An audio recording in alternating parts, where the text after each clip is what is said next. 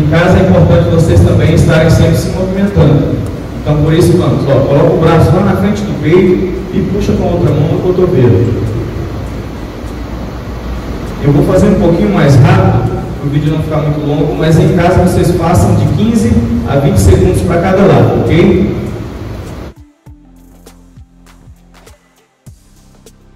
Lá em cima.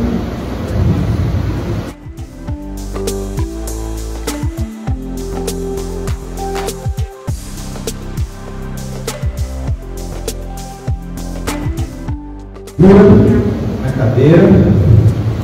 Para a atividade de hoje, nós vamos usar uma cadeira e algo que vocês consigam segurar para dar uma resistênciazinha. Aqui eu vou usar um halter, mas vocês em casa podem pegar uma garrafa de água. Nessa garrafa vocês podem colocar água ou areia para poder pesar um pouquinho mais.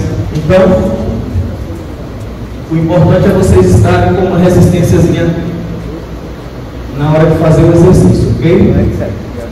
Vai lá embaixo, vem pela labirintite, segura um pouquinho.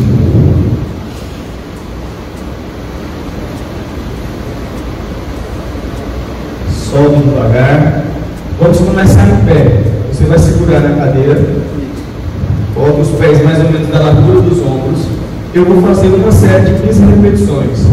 Você em casa, por enquanto, dependendo do seu funcionamento físico, vai fazer três séries de 10, certo? Três séries de 10. Fiquem atentos a isso. Vamos lá?